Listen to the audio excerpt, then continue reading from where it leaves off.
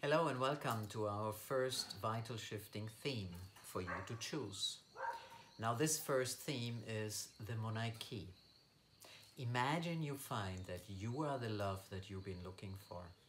Imagine you can be the embodiment of love and in sacred relationship.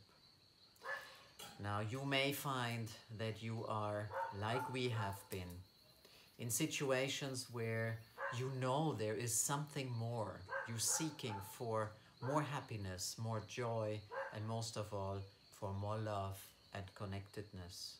But everywhere you turn, you just realize this is not what I have been looking for.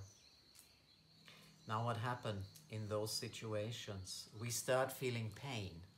Pain for the separation of from self we start feeling a stronger longing and things just don't seem to be the same anymore. For some of us, the lack of self-love, self-confidence and self-esteem are an experience of pain in the physical body and in the emotional body. So what can be done?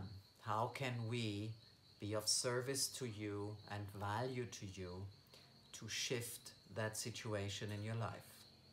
The Munay Ki comes originally from the Q'ero, the indigenous people and the spiritual guides of the Inca that live here in the Andes of Peru.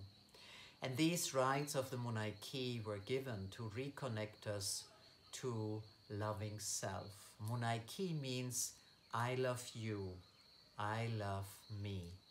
So what happens when you are choosing this retreat we're taking you on a journey of nine initiations of the Munay Ki to come back to the self-love.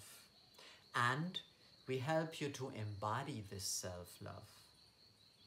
And on that journey, there will be also two personal activations to you, and you will get in touch with the spirit animal of the hummingbird.